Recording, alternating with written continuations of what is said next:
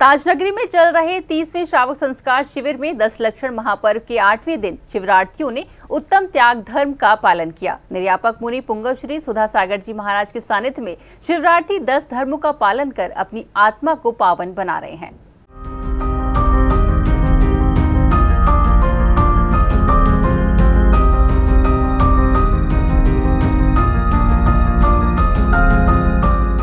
पांडुक शिला पर विराजमान जिनेन्द्र प्रभु के अतिशय की दुनिया दीवानी है। इसलिए तो ताजनगरी में लगभग 18 राज्यों से आए शिवरार्थी प्रभु की महिमा का गुणगान करने से खुद को रोक नहीं पाते।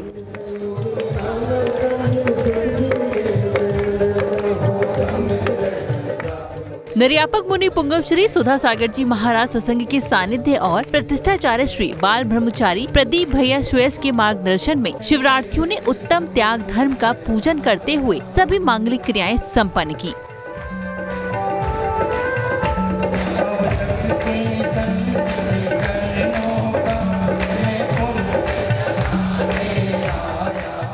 दस लक्षण महापर्व में आगरा के धर्म प्रेमियों का उत्साह भी कुछ कम नहीं है। भक्ति में लीन होकर संगीत में गुरु भक्ति का आनंद भक्त उठा रहे हैं।